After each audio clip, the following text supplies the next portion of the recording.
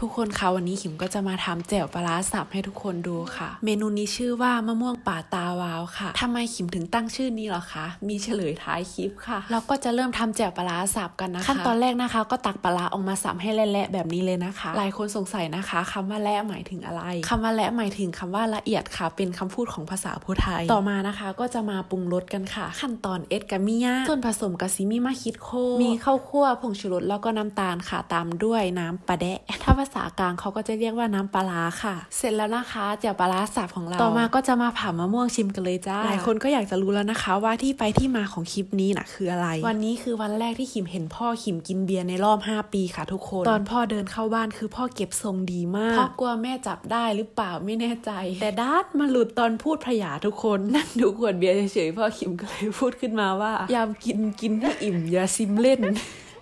ยามทำทำให้เป็นอย่าให้เห็นเป็นหลักฐานว่าสันนี่แหละค่ะทุกคนที่มาของมะม่วงตาวาว กินแล้วเสืองเมา